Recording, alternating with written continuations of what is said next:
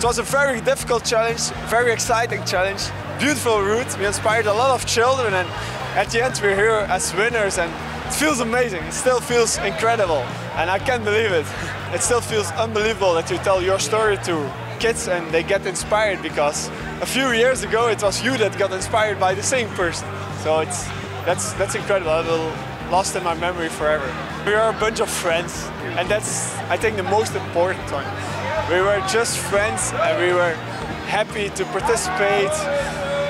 Of course there was high pressure because we won the World Championships last year but uh, we know we could make it if we just focus and have a really good team and the team was focused and was ready for it. So.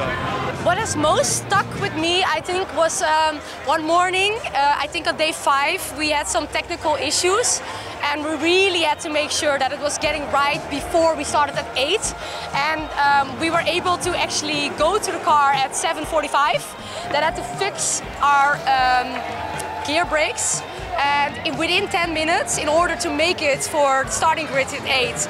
And it was super stressful and I think everyone was super stressed, but especially the people that actually in the technical team that worked on it. They were really stressed, but they managed to pull through.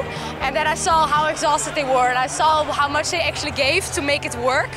And it really, really showed me how much effort everyone is putting into this and the perseverance of our team. So I'm so grateful to have my team and them backing us up. So that was amazing to see.